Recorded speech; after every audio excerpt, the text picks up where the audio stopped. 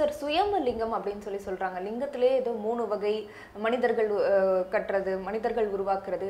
இந்த சுயம்பு லிங்கம் தானா எழுந்துக்கிறது அப்படின்னு சொல்றாங்க. அது எப்படி சார்? தானா ஒரு லிங்கம் முளைக்கும்? நீங்கள்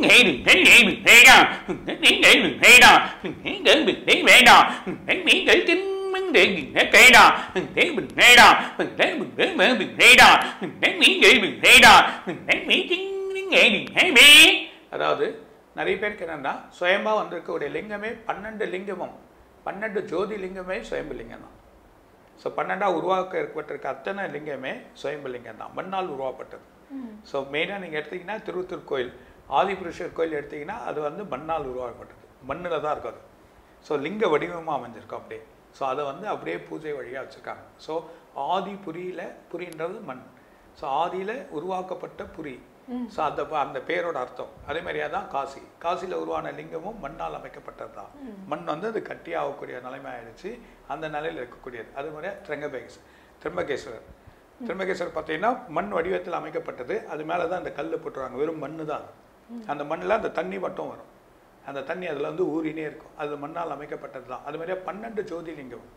இந்த பன்னெண்டு ஜோதிலிங்கமே உங்களுக்கு வந்து ராமேஸ்வர் ராமேஸ்வரத்தில் வந்து மண்ணால் அமைக்கப்பட்ட லிங்கம் வந்து வெளியே இருக்கு. அதுதான் ராமர் வந்து பூஜை பண்ண லிங்கம். ஸோ மண்ணாலே அமைக்கப்பட்டது. அதனால தான் ஒரு கதையாகி அது சண்டையாகி தான் அனுமார் எடுத்துட்டு அந்த லிங்கத்தை உள்ளே வச்சிருக்காங்க பூஜையில். ஸோ வெளியே இருக்க லிங்கம் வந்து சிவனோட இதுதான் மண்ணால் கொண்டு அது போனீங்கன்னா லெஃப்ட் ஹேண்ட் சைடில் வெளியே வச்சிருப்பாங்க அகஸ்டர் லிங்கம்னு. போட்டுருவாங்க அகஸ்டர் பூஜை பண்ண லிங்கம் வந்து சுயம்பு. ஸோ மண்ணால் உருக்கப்பட்டதா பன்னெண்டு ஜோதிலிங்கமே மண்ணால் உருவாக்கப்பட்டது. தானா எது ஒரு இயம்பா சுயம்பா உருவாதோ அதை வந்து சுயம்பன்னு சொல்றாங்க. ஸோ சுயம்பா உருவான லிங்கங்கள் தான் பன்னிரெண்டு ஜோதிலிங்கமே சுயமாக உருவானதான் சுயமான அந்த இடத்துல இயற்கையாகவே சக்தி அதிகமாக இருக்கும். இயற்கையாகவே அந்த இடத்துல வந்து சக்தி பாலிக்கக்கூடிய நிலைமை அதிகமாக இருக்கிறதுனால அந்த நிலையாக இருக்கக்கூடிய லிங்கத்தை தான் நம்ம வந்து பன்னிரெண்டு ஜோதிலிங்கமாக வச்சுருக்காங்க. அதெல்லாம் பன்னிரெண்டு விழுதுகள்.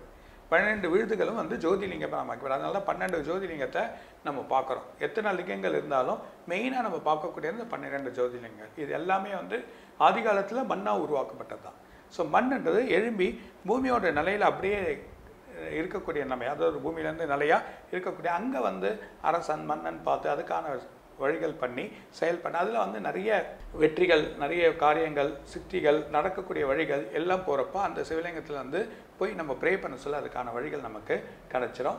நிறைய வந்து மண்ணால் உருவாக்கப்பட்டது தான் எதுவே நிறைய இடத்துல போனீங்கன்னா உங்களுக்கு ராமேஸ்வரத்தில் பித்ரு படுக்க சொல்ல சொல்ல ரொம்ப நமக்கு பாதங்கள் இருந்ததுன்னா முப்பத்தாறு மண்ணை வந்து பிடிச்சி ஒவ்வொரு லிங்கத்துக்கும் அதுக்கான பூஜைகள் பண்ணி முப்பத்தாறு தடவை மூணு வாட்டி மூணு வாட்டி முங்கி இருந்தால் இருக்கக்கூடிய சே க கர்ம வினைகள்.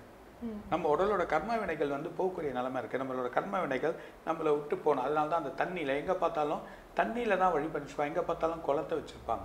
ஸோ குளத்துல குளிக்க சொல்ல அந்த உணர்வுகள் நமக்கு உடல் வந்து சுத்தமான நிலைமைகள் ஏற்படும். அந்த குளத்துல குளிச்சுட்டு அந்த ஆலயத்தை போய் தழுவ சொல்ல சுத்தமான நிலைமைகள் உடம்புல இருக்கக்கூடிய கெட்ட நெகட்டிவ் ரேஸ் எல்லாம் பிரிஞ்சு போய் ஒரு நல்ல வழிகள் காட்டக்கூடிய நிலைமையை தான் நமக்கு இறைவன் வந்து காமிச்சிருக்காங்கன்றது இறை தத்துவமாக நம்ம காமிக்கப்பட்டிருக்கின்றது நம்ம சொ- அதனால தான் எல்லா ஆலயங்களுமே வந்து பன்னெண்டு ஜோதிலிங்கமே சுயம்புலிங்கமாக தான் இருக்குது